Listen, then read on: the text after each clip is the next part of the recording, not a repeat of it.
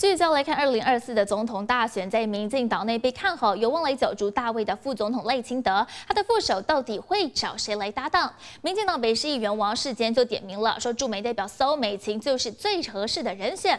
不过赖副总统被问到这一件事情的时候，只有哈哈两声，没有多做回应。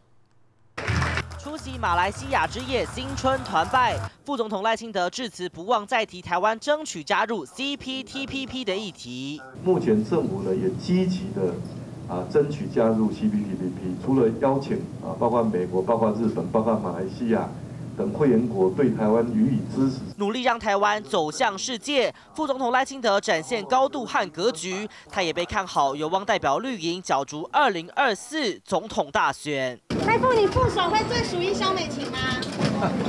被问到副手人选，赖副总统笑了两声，没有证实，留下想象空间。不过党内力推这位很适合，个人也是认为，你也是认为萧美琴是最适合的，他大概。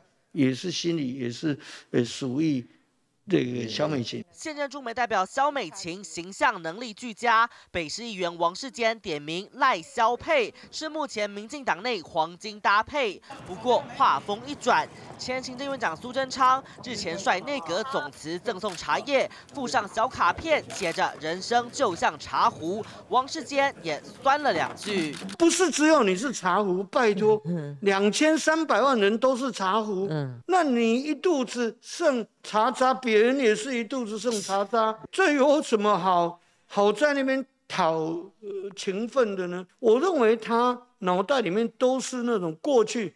强人统治的遗毒了。王世坚对民进党的爱之深责之切，虽然曾经引发党内基层反弹，但他不怕当出头鸟，维持一贯敢说敢言。